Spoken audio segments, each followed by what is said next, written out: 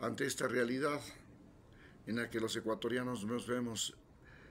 indefensos, porque aunque el gobierno está haciendo una gestión militar en cada uno de los de cada una de las provincias, en cada uno de los puertos, dentro de las prisiones, para frenar y contrarrestar, se nota que como el presidente es novato, como el presidente es vanidoso, es precipitado, estamos jugándonos la lotería todos los días, esperando que tenga éxito la policía y el ejército, que a su vez, junto con los jueces y la justicia, resulta que son parte de la corrupción que existe en el país. Estamos entregados a un mundo de corrupción en el que a diario vemos militares, policías, que no solamente capturan a los delincuentes, capturan una gran cantidad de droga, vehículos y armas, pero que no sabemos finalmente en qué manos terminan esas capturas, esos vehículos, esas casas, esos, esas armas, esa cocaína, si esta vuelve al mercado, pero ahora reciclada o recircula, en recirculación mediante todo este aparato estatal que está absolutamente corrupto. Vemos que desde el presidente de la Corte Suprema de Justicia vendía fallos, sentencias a los narcos, igual lo hacían jueces, que el enriquecimiento de jueces y abogados se ha convertido en otro de los grandes problemas del país porque los abogados y jueces de este país encontraron que favorecer y defender a los narcos es ahora uno de los mejores negocios que existen en el Ecuador. A esto se suma que Ecuador ha pasado a ser uno de los países exportadores de oro de Sudamérica y que aparece oro en todas partes, en las provincias, en las montañas, en los ríos de la Amazonía. En todas partes hay oro y este oro va a parar en los carteles del narcotráfico que han encontrado que la mejor forma de lavar el dinero del narcotráfico es comprando oro, para lo cual financian, inclusive secuestran y explotan a trabajadores mineros en lugares como Ponce Enrique y otras zonas mineras del Ecuador,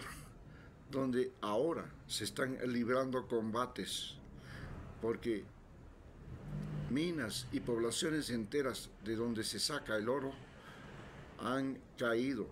en manos de los carteles de la droga. Ante esta situación,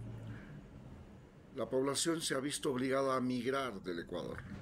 y Ecuador se ha convertido en unos foco, uno de los polos migratorios más importantes de Sudamérica. Y los ecuatorianos cruzan con sus hijos, con sus mujeres embarazadas, con sus padres, inclusive llevando abuelos y hasta discapacitados. Por el tapón del Darién, por Centroamérica, se cruzan la frontera entre México y Estados Unidos y muchos terminan muertos o deportados desde Estados Unidos. Esta situación se complica cuando el presidente Donald Trump amenaza que su misión como presidente será terminar el muro entre México y Estados Unidos deportar por millones a los indocumentados, a los ilegales, como se les llama, y que en realidad se trata de a los hispanos. Y finalmente, amenaza inclusive con que la próxima convención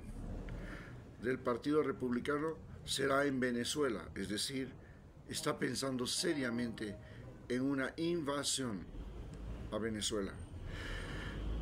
Este próximo domingo se llevarán a cabo las elecciones en Venezuela, donde a no dudarlo, el presidente Maduro ha sido uno de los individuos que ha formado parte de la tragedia venezolana y esta tragedia venezolana es producida por el conflicto entre Venezuela y Estados Unidos, el bloqueo económico, pero además porque el señor Maduro no ha tenido la capacidad de comprender la historia, la situación política global, ni la forma de evitar que su pueblo termine como un pueblo mártir. Es decir, ha llevado a su país y a su gente a una derrota. Esta derrota es porque simplemente Venezuela no tenía la capacidad para enfrentar a Estados Unidos. Y segundo lugar, porque los venezolanos fueron privados de todas sus libertades y de su capacidad de producción y consumo a través de un manejo de la economía desastroso. Finalmente, con la esperanza de que el Partido Demócrata sea el que triunfe en las elecciones de Estados Unidos con Kamala Harris, esperamos que Donald Trump no se convierta en el presidente de los Estados Unidos porque sería inaudito que un hombre que ha violado, que ha estafado al Estado de Nueva York, que intentó un golpe de Estado, que inclusive deja bajo sospecha